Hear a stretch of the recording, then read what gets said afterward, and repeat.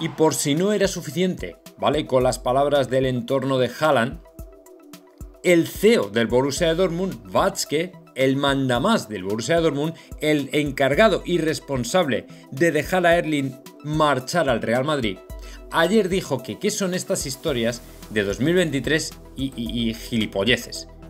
Haaland decidirá su futuro en un máximo de 6 semanas. En 6 semanas, el próximo mes de marzo, concretamente mañana, va a haber reunión y estas semanas siguientes van a ser clave en el futuro del jugador. Por cierto, que esta y otras noticias las tenéis, aprovecho para hacer un poco de publicidad en mi página ultimominutorealmadrid.com, ¿vale? Allí también tenéis un montón de vídeos del equipo que os van a encantar y memes que podéis compartir con vuestros amigos y tal, súper originales que os van a encantar, ¿vale?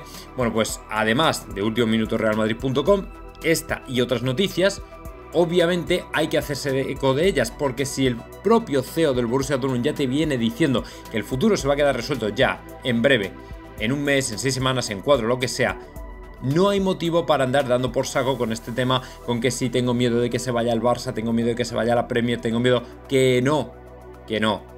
Que que le va a dar prioridad absoluta al Real Madrid y que muy probablemente el Madrid le esté también dando prioridad absoluta y esté utilizando lógicamente a los medios afines para rebajar la tensión. Pero que ojo que eso puede ser ni más ni menos, ni menos ni más que contraproducente. Por eso el periodista este Jan eh, sale a Twitter diciendo dejaos ya de historias con la 2023, eh, que no hay nada. No hay nada de eso. Haaland quiere jugar en Real Madrid, quiere jugar ya.